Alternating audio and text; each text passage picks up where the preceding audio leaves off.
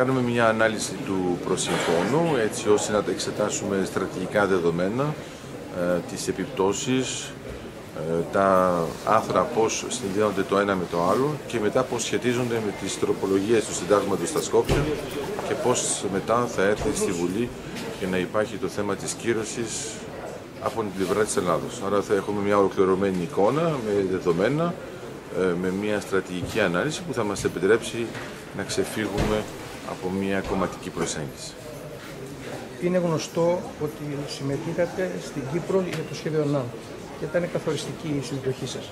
Ναι. Η ελληνική κυβέρνηση, η πολιτεία σας έχει ε, ζητήσει τη συμβολή σας για το συγκεκριμένο το θέμα των Σκοπιών. Ναι, Απλώς να ξέρετε ότι γενικά αυτό που γίνεται με τους στρατηγικούς συμβούλους είναι πάνω ότι είναι, η ενημέρωση γίνεται σε επίπεδο υπουργών και βουλευτών. Άρα έχει ζητηθεί πολλές φορές, αλλά δεν έχει ζητηθεί από τον Πρωθυπουργό και από τον Υπουργό Εξωτερικών που ήταν αυτοί που παρήγαν αυτό το προσύμφωνο. Αλλά από τους άλλους, για να έχουν μια άποψη για το τι λέει ακριβώς, πώς διατυπώνεται, ποιες είναι οι επιπτώσεις και ποια είναι τα στοιχεία που αφορούν άμεσα την Ελλάδα, ναι, βέβαια. Πόσο σημαντικό πιστεύετε ότι είναι το, αυτό το σύμφωνο των προσφών και αν θα μπορέσει να επηρεάσει στο μέλλον της ε, επόμενης γενιάς.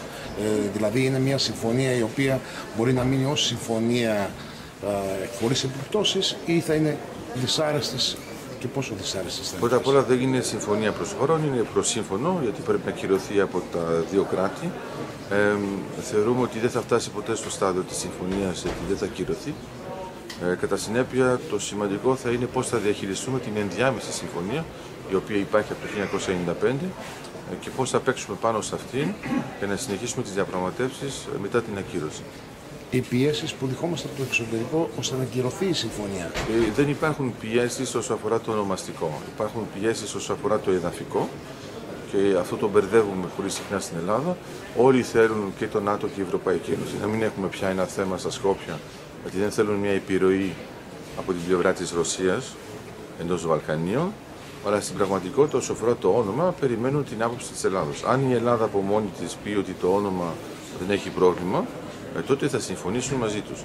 Αλλιώς ε, πρέπει να ξέρετε ότι το προαπαιτούμενο του 2009 από την Ευρωπαϊκή Ένωση προβλέπει ότι δεν ανοίγει κανένα κεφάλαιο της συνταξιακής πορείας για τα Σκόπια άμα δεν έχει τελειώσει το ονομαστικό. Άρα αν η Ευρωπαϊκή Ένωση ήθελε πραγματικά να μας πιέζει, θα μπορούσε να κάνει την άρση αυτής της απόφασης και να μπει σε μια διαδικασία ένταξης. Πιστεύετε ότι το, το ενδεχόμενο ατυχήματο στο Αιγαίο συσχετίζεται με την όλη προσπάθεια που κάνουν οι ξένοι Όχι, όχι. Ήταν εντελώς ε, κάτι το άσχετο. Ε, δεν σχετίζεται με τα δεδομένα. Ε, είμαστε καθαρά σε ένα πλαίσιο βαλκανικό. Η Τουρκία δεν εμπλέκεται και τα ατυχήματα δεν προκαλούνται με τόσο εύκολο τρόπο.